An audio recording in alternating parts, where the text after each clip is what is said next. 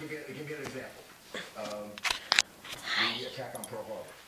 There was no act of war declared, it wasn't declared until the day it was too late. Come here, bud. Just looking at them, putting them, uh, thing on the wall. No. just committed war, or treated them as war criminals, enemy combatants.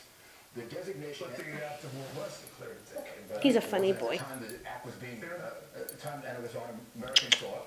It didn't take Kraft five minutes to put that on. Which was not necessarily declared, it was a, uh, What are you doing? considered a, uh, a, a, a military action, a, police action, I think it was called. Um, we We treated. did not want her to get over there when she's supposed to.